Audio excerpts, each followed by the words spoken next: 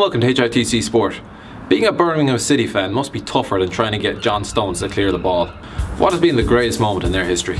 How depressing has it been being a Birmingham fan? Uh, it's been there's been there's been lows, but there's also been highs as well. What would be the greatest moment in Birmingham City history for you? Has to be Obafemi Martins at Wembley scoring a 90th minute winner against Arsenal. Who put the ball in the Arsenal net? Who put the ball in the Arsenal net? Who put the ball in the Arsenal net? Obafemi Martins. February the 11th. We, were, we were odds-on favourite not to win.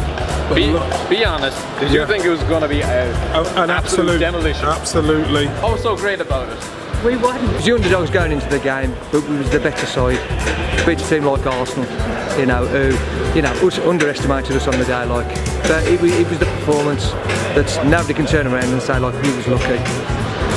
The Arsenal fans all going home. That was gone within two seconds. the ground was blue.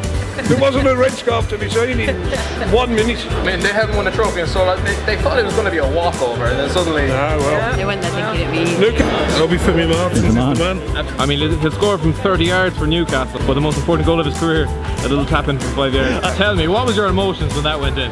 Didn't know whether to cry or Yeah, I mean it was a mixture of happiness, but I could feel my eyes filling up, mate. Like, You were probably crying four months later when you got relegated. I'd say you were on a high for months afterwards, until you got relegated three months later. Yes. That's harsh, isn't it? a massive, massive day, un- unbelievable day, and just a shame it was spoilt afterwards with relegation. So we didn't quite get to enjoy our trip to Europe in, in the way that other teams do. That's Alex So- McLeish for you. Oh! Ah! Oh, Over! Over! Over! Over! Over! Carling Cup, winners.